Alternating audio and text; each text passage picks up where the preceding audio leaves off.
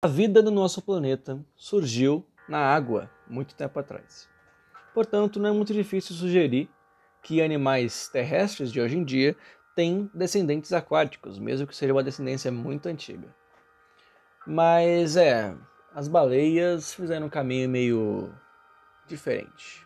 E se você observar os mamíferos terrestres que existem hoje, você vai perceber que muitos deles, cada um, na verdade, foi para o seu caminho evolutivo diferente. Né? Então, os morcegos são, por exemplo, os únicos mamíferos voadores que existem. Você tem outros que fazem tocas no solo, outros que são arborícolas. Mas, como eu disse anteriormente, as baleias fizeram um caminho tanto quanto diferente. Porque, é, as baleias que você conhece hoje são fruto de mamíferos terrestres que muito tempo atrás voltaram para a Terra, fizeram um caminho é, ao contrário, né? Reverso. E é por isso também que o nome desse vídeo é Baleias Terrestres. E não, você não ouviu errado. Como eu disse, as baleias aquáticas de hoje têm ancestrais terrestres, mamíferos que foram para a água. E eu vou usar fósseis para provar que isso aconteceu e como isso aconteceu. Vou mostrar algumas espécies e nós vamos vê-las juntas agora. O primeiro exemplo que nós podemos falar aqui é o Paquicetus, tá?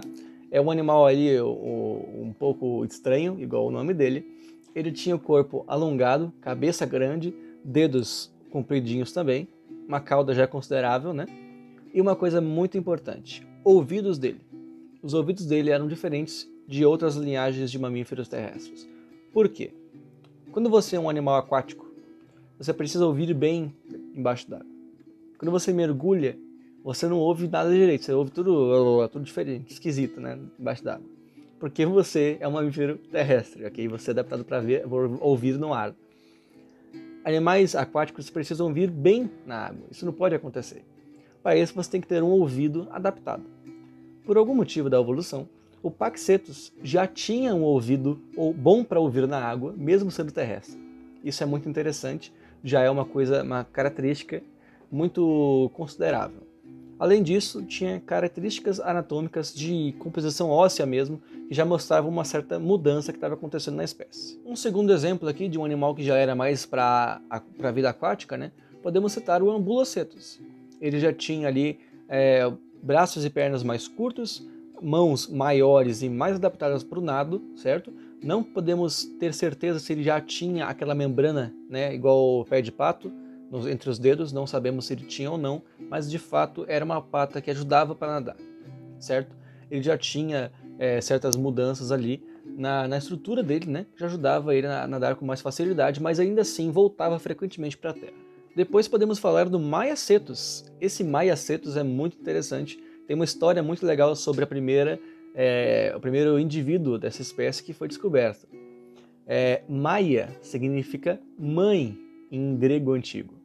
Portanto, Maiacetus, por quê?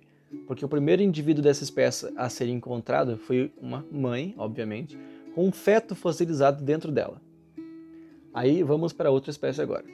No golfinho atual, você vai ver, na hora do parto, o golfinho bebê, ele nasce de ré, basicamente. A primeira coisa que sai da mãe é a cauda dele, e ele nasce de ré. Nos mamíferos terrestres, nós mesmos, a primeira coisa que sai quando a gente está tá, né, nascendo é a cabeça. A gente sai né, com a cabeça e depois o resto do corpo sai. Nesse Maiacetus, o bebê fossilizado estava com a cabeça para sair, e, ao invés da cauda. O que indica que muito provavelmente esse Maiacetus ele já era bem aquático, mas ele ainda ia para a terra para dar luz. Olha que legal. Então você vê, é um bem meio termo, bem no meio do caminho mesmo assim. O Maiacetus já tinha mais cara de bicho aquático, mas ele ainda tinha muitos hábitos terrestres, né? E esse é um deles. E para citar um animal mais aquático, né? Podemos falar do Durodon. O Durodon, ele é um animal que já tinha uma aparência bem parecida com um golfinho ou um animal mais aquático mesmo, né? Já tinha ali uh, nadadeiras mesmo e tudo mais.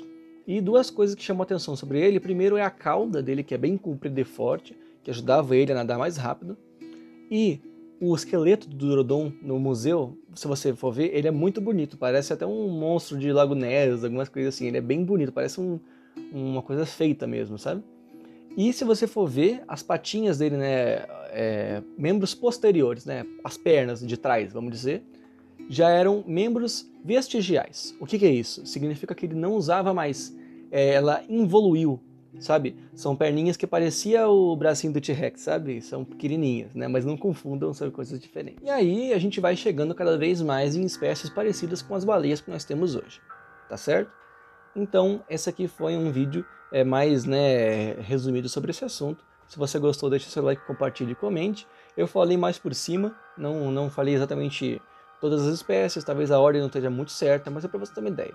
Se você gostar desse assunto, recomendo que você se aprofunde mais nesse tema. É um tema que é, é bastante estudado, né? Canais de biologia mesmo aqui no YouTube devem ter informações muito legais também para você ver. Então, fica aí o convite para você se é, aprofundar mais no assunto se você gostou, tá certo? Muito obrigado e até o próximo vídeo.